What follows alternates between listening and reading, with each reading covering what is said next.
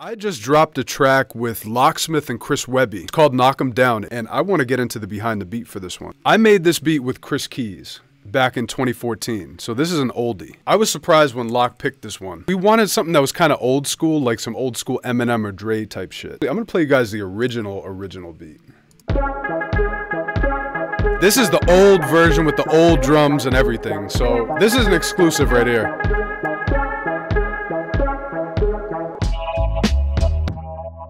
Okay, so yeah, this shit does not knock. I gotta be honest. The drums are real weak. The bass is too soft.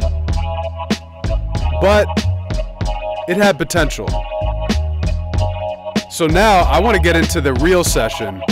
Now I'm gonna play you guys the version that came out with Locksmith and Webby. So for the kick and snare, I replaced out the original weak ass drums and put in a Drums That Knock kick and Drums That Knock snare. And we switched the bass from the real live sounding upright bass to an 808 from Drums That Knock Volume 8, Bow Analog 808. And then on top of that, there's two of them layered. One of them is just the lows, as you can see right here, and one of them is more of the high frequencies with a little bit of a dip in the very high frequency. So this is what they sound like individually.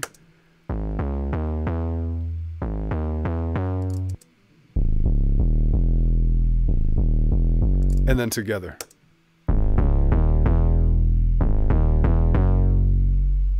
And then string pad for the second half of the verse.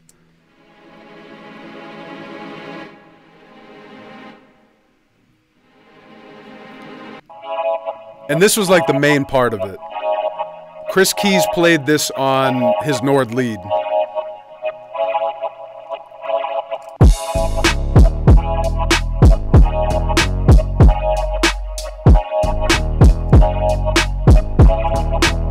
And then the second half.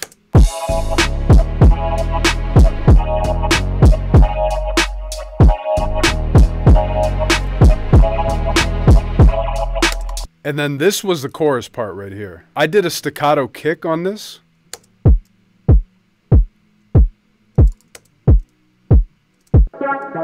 And this is something Chris Keys played.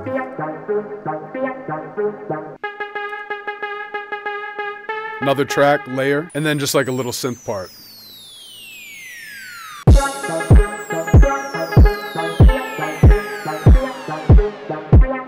And that's it for the beat. Super simple beat. It doesn't always take a lot. Sometimes simplicity is good. Artists love just space to be able to get on the track. This one served a purpose. Like this is a real simple example of higher range.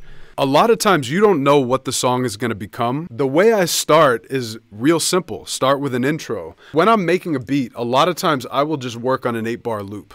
So this is an 8 bar loop. So this is an idea, like when I'm starting, I'm starting the track with an 8 bar loop, but a lot of times I'll start with the 8 bar loop and I'll add a lot to it. Then when I'm arranging, a lot of times I'll start taking away from the track. For example, this might be this might be the 8 bar loop. Then I'll take out the strings, so then you have a change. A lot of times I'll use subtractive methods to arrange. I find that's the easiest way. So you just keep adding and adding and adding, then you start subtracting. So you might loop that and take away an element. So that way when the first part flows into the second part, it has a change. So let's hear it without the master chain. This is not like the final mix that I did in Pro Tools. This was like the quick mix for me to send to Locksmith and Chris Webby. This is without the master chain. Holy shit, this one's doing a lot. weak, weak. Now with the master chain. Big difference on this one. This master chain really made the shit knock. On this one, I have some gain, no master. Gain. It's clipping. Ozone 9.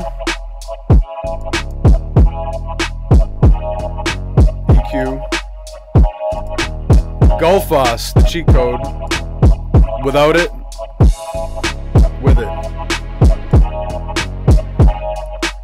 So I have the recover set to 29 and the tame set to 26, more than I usually do with this plugin. If you notice, it gives it that top end shine. And then the glue compressor. Without it. with it. So we're doing like three decibels, four decibels of gain reduction, and some makeup with soft clipping, then a limiter. Even more, just two decibels of gain. This is not how I would mix a record record, but this is how I would mix a beat. It sounds good enough, so I kept that as the artist reference.